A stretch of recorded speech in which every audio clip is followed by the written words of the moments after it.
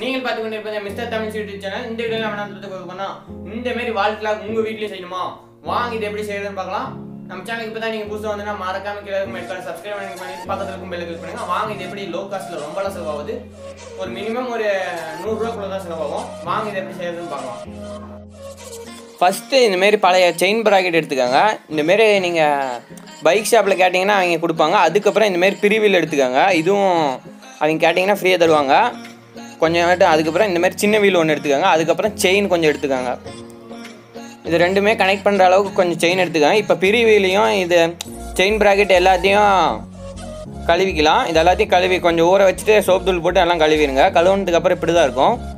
புதுசுன்னு நினச்சிக்காதீங்க. பழசே தான் நான் நல்லா கழுவி வச்சுருக்கேன். நல்லா தேய்ச்சி இதெல்லாம் புதுசு மாரி இல்லை எல்லாம் புதுசாட்டம் இருக்கிற மாரி நல்லா தேய்ச்சி வச்சுட்டேன். புதுசெல்லாம் நான் வாங்கலை. பழசே வாங்கி நல்லா நான் கழுவிட்டேன். நீங்களும் நல்லா கழுவிடுங்க.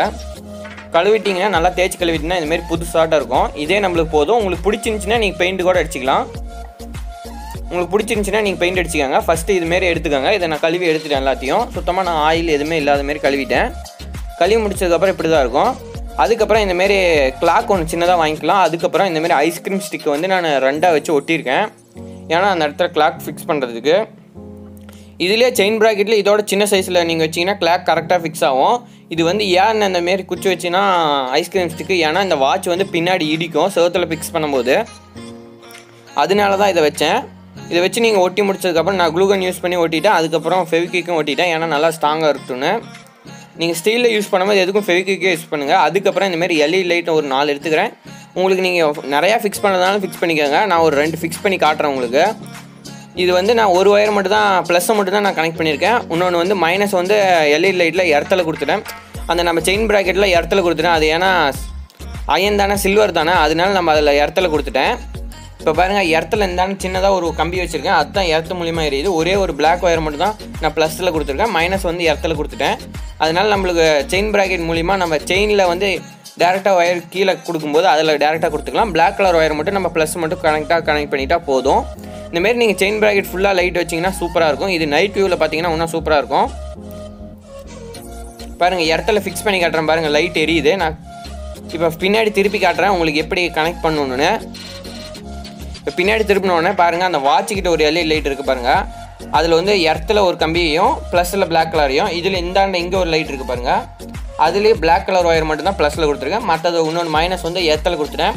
ஏன்னா அந்த செயின் ப்ராக்கெட்டோட எர்த்தில் கொடுத்துருக்கேன். அதனால ஒரு பிரச்சனையும் இல்லை. இதுக்கு நீங்கள் மினிமம் ஒரு ஹெச்டபிள்யூ பேட்டரி வச்சு ஃபிக்ஸ் பண்ணிங்கனாலும் பரவாயில்ல. இல்லைனா உங்கள் மொபைல் சார்ஜர் பழைய மொபைல் சார்ஜர் இருந்துச்சுன்னா போதும். அதை வச்சு நீங்கள் ஃபிக்ஸ் பண்ணிக்கிறாங்க இப்போ பாருங்கள் இடத்துல ஒரு கம்பி ஒயரை வைக்கிறேன். அது வச்ச உடனே பாருங்கள் லைட் எரியுது. இது வந்து ஆர்ஜிபி லைட்டு உங்களுக்கு ஒரு சிங்கிள் கலர் லைட் வைக்கிறதுனாலும் வச்சுக்கலாம். உங்களுக்கு என்ன பிடிக்குமோ அது வச்சுருக்கலாம் நான் வந்து ஆர்ஜிபி லைட் வச்சுருக்கேன். இன்னும் ரெண்டு வைக்கலான்னு பார்த்தேன். அதுக்குள்ளே டைமில் அதனால் நீ உங்களுக்கு எத்தனை லைட் பிடிக்குமோ அத்தனை லைட் நீங்கள் வச்சுக்கோங்க. இப்போ நான் செவத்தில் ஃபிக்ஸ் பண்ணி காட்டுறேன். ஃபஸ்ட்டு இதை ஃபிக்ஸ் பண்ணிக்கோங்க. ஃபிக்ஸ் பண்ணோன்னா பிளாக் கலர் ஒயரை மட்டும் நீங்கள் அப்படியே விட்டுருங்க. இப்போ வந்து நம்ம செயின் ஃபிக்ஸ் பண்ணிக்கலாம். அவ்வளோதான் நான் செயின் ஃபிக்ஸ் பண்ணிவிட்டேன் அந்த செயினுக்குள்ளேயே நான் ஒயரை ஃபிக்ஸ் பண்ணிக்கிறேன். இது இந்த பிளாக் கலர் ஒயர் மட்டும் செயினில் டச் ஆகாத மாதிரி பார்த்துக்கோங்க. ஏன்னா நம்ம எர்த்து வந்து நம்ம செயின்லேயே கொடுத்துக்க போகிறோம் அதனால இந்தமாரி நான் உள்ளே வச்சு நல்லா கரெக்டாக ஃபிக்ஸ் பண்ணிக்கிறேன். ஃபிக்ஸ் பண்ணி முடிச்சதுக்கப்புறம் இந்தமாரி பிரிவில் ஒன்று எடுத்துக்கிறேன். இங்கே பாருங்கள் கீழே ரெண்டு சைடு இந்தாண்ட வந்து பிளாக் கலர் ஒயரும் இந்தாண்ட எர்த்தையும் ஃபிக்ஸ் பண்ணிட்டேன். இந்தமாரி நீங்கள் பிரிவியில் வச்சு ஃபிக்ஸ் பண்ணிக்கலாம். இந்தமாரி நிறையா ஸ்டைலில் நீங்கள் வச்சு செவத்தில் ஆணி அடித்து ஃபிக்ஸ் பண்ணிக்கலாம். ஒரு பிரச்சனை இல்லை. இப்போ லைட் ஆஃப் பண்ணிட்டேன். அதனால தான் உங்களுக்கு இருட்டாக தெரியும். இப்போ பாருங்கள் லைட் எரியுது. அதில் இருக்க லைட்டை வச்சு ஃபிக்ஸ் பண்ணி காட்டினேன். இந்த வீடியோ ஃபுல் அண்ட் ஃபுல் காலையில் எடுத்தது தான். அதனால நான் ரூம்குள்ளே வச்சு எடுத்ததுனால அப்படி தெரியும். நீங்கள் நைட்டில் வியூவில் பார்த்தீங்கன்னா இன்னும் சூப்பராக இருக்கும். இப்போ பாருங்கள் நடுவில் பிரிவியில் வச்சு ஒரு ஒயர் மாரி கட்டிட்டேன். இப்போ பாருங்கள் மேலே பெரிய பெரிய வீல் மேலே வந்து செயின் ப்ராக்கெட்டு கீழே வந்து ஒரு பெரிய வீல் அதுக்கு கீழே ஒரு சின்ன வீல் மாரி வச்சுருக்கேன்.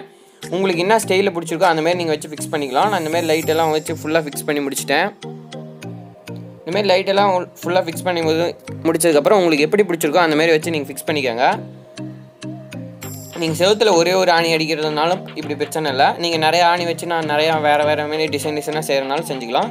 இப்போ உங்களுக்காக ஒரு ஒரு அவுட்லுக் ஃபுல்லாக தெரியணும் அப்படிங்கிறதுக்காக ஒரு மரத்தில் வச்சு ஃபிக்ஸ் பண்ணி வச்சுருக்கேன். மரத்தில் அப்படியே மாட்டி வச்சுருக்கேன். பாருங்கள் சூப்பராக இருந்துச்சுன்னா கீழே கமெண்ட் செக்ஷனில் கமெண்ட் பண்ணுங்கள் இதுக்கு ரொம்பலாம் செலவாகுது. உங்கள் வீட்டு பக்கத்தில் ஏதாவது பைக் ஷாப் இருந்துச்சுன்னா அவங்கள்ட்ட போய் கேட்டிங்கனாலே பழசு தருவாங்க.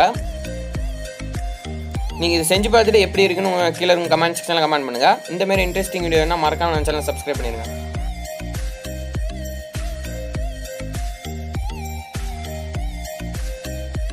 நீங்கள் பார்த்துருப்பீங்கன்னு நினைக்கிறேன். இது உங்கள் வீட்டு பக்கத்தில் ஏதாவது பைக் ஷாப்பில் கேட்டிங்கனாலே ஃப்ரீயாக கொடுத்துருவாங்க. ஒரு ஃபிஃப்டி ருபீஸ் இல்லை தேர்ட்டி ருபீஸ் கூட தான் ஒரு சார்ஜ் பண்ணுவாங்க. இது ரொம்ப லோ காஸ்ட் தான். இது உங்கள் வீட்டில் இருக்க இந்த வாட்ச் எடுத்து நீங்கள் ஃபிக்ஸ் பண்ணிட்டாங்களா ஓரளவுக்கு இருக்கும். இது புது டிசைனாக இருக்கணும் தான் உங்களுக்காக இது அப்லோட் பண்ணேன். இது பிடிச்சிருந்தா இந்த வீடியோக்கு ஒரு லைக் பண்ணுங்கள் இந்த மாதிரி இன்ட்ரெஸ்டிங் வீடியோ வேணா மறக்காம நம்ம சேனலை சப்ஸ்கிரைப் பண்ணிட்டு பக்கத்தில் இருக்கும் பெல் ஐக்கான கிளிக் பண்ணுங்க. புத்த புது வீடியோக்கள் உங்களுக்காக காத்துட்டு இருக்கு. இது உங்க ஃப்ரெண்ட்ஸுக்கு உங்களுக்கு பிடிச்சிருந்தா உங்க ஃப்ரெண்ட்ஸுக்கு ரிலேட்டிவ்ஸ்க்கு எல்லாம் ஷேர் பண்ணுங்க. உங்க சஜஸ்ட் ஏற்ற மாதிரி உங்களுக்கு என்ன வீடியோ வேணுமோ அதை கீழே இருக்கும். கமெண்ட் செக்ஷனில் கமெண்ட் பண்ணுங்க. தேங்க்யூ ஃபார் வாட்சிங் this video please subscribe like and share